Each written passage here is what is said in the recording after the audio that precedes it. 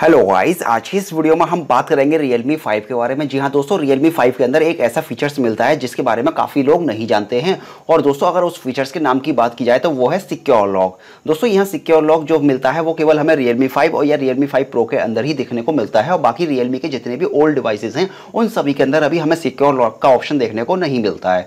पर दोस्तों, आज के इस वीडियो में मैं आपको बताऊँगा कि ये फीचर्स क्या है और ये किस तरह से काम करता है। और दोस्तों, आप इसको किस तरह से इनेबल कर सकते हैं और किस तरह से इसको डिसेबल कर सकते हैं। तो चलिए दोस्तों, आज का वीडियो शुरू करते हैं।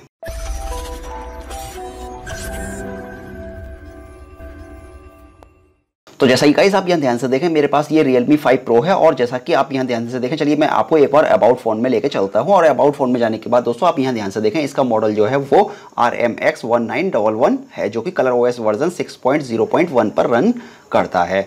बेसिकली दोस्तों, ये जो फीचर्स जिसके बारे में हम बात करने वाले हैं, जो कि सिक्योर लॉक है, ये आपको कलर ओएस वर्जन 6.0.1 के अंदर ही देखने को मिलता है और हालाँकि ये वाला वर्जन अभी रियलमी के ओल्ड डिवाइसेस में किसी के अंदर भी आपको देखने को नहीं मिलता। खैर दोस्तों, अब बात कर लेते हैं यहाँ पर कि हमें जो सिक्योर लॉक है, वो हम किस तरह से यूज़ कर सकते हैं। तो दोस्तों, अगर आप सिक्योर लॉक को यूज़ करना चाहते हैं तो आपको सिंपली करना क्या होगा? जो पावर बटन है, आपको इसे प्रेस करके रखना है। और जैसे दोस्तों आप इसको प्रेस करके रखते हैं तो प्रेस करने के बाद यहाँ आपको आपको यहाँ रीस्टार्ट का और पावर ऑफ़ का ऑप्शन देखने को मिल जाएगा और साथ ही साथ दोस्तों यहाँ आपको इस स्क्रीन पे एक और ऑप्शन देखने को मिल जाएगा सिक्योर लॉक का।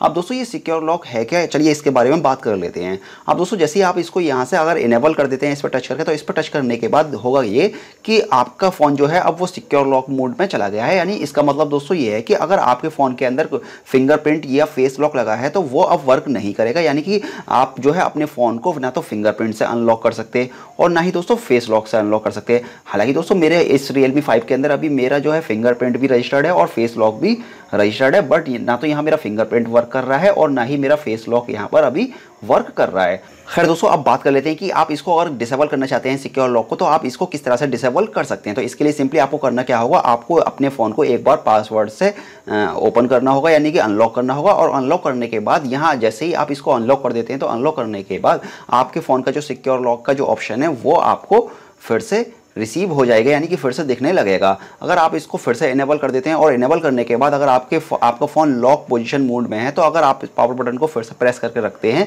तो यहाँ आप भी आपको सिक्योर लॉक का जो ऑप्शन है वो देखने को नहीं मिलेगा, क्योंकि वो अभी इनेबल है। अगर आप इसको डिसेबल करना चाहते हैं तो जैसे मैंने आपको बताया सेम टू सेम आपको वही प्रोसेस फॉलो करना होगा, यानी कि आपको अपने फ़ोन को एक बार पासवर्ड डाल के ही जो है अनलॉक करना होगा, तभी आपके फ़ोन जो है वो सिक्योर लॉक से हटेगा, और आपका फ़ोन जो है, उसका जो फिंगरप्रिंट और फेस लॉक है, वो वर्क करेगा। अब दोस्तों, यहाँ से मैंने सिक्योर लॉक को डिसेबल कर दिया है। चलिए एक बार चेक कर लेते हैं कि हमारा फिंगरप्रिंट अब वर्क कर रहा है या नहीं। तो दोस्तों, हमारा जो फिंगरप्रिंट है, अब वो ईजिली वर्क कर रहा है, यानी कि काफ़ी अच्छे से वर्क कर रहा है। चलिए एक बार फेस लॉक को भी हम चेक कर लेते हैं। तो दोस्तों, हमारा जो फेस लॉक है, वो भी अच्छे से वर्क कर रहा है। तो दोस्तों, यहाँ मैंने आपको बताया कि रियलमी फाइव के अंदर जो सिक्योर लॉक देखने को मिलता है, जो कि अभी हमें रियलमी के किसी अदर डिवाइस में देखने को नहीं मिलता है, इसका क्या काम है और ये किस तरह से हम इसको यूज़ कर सकते हैं।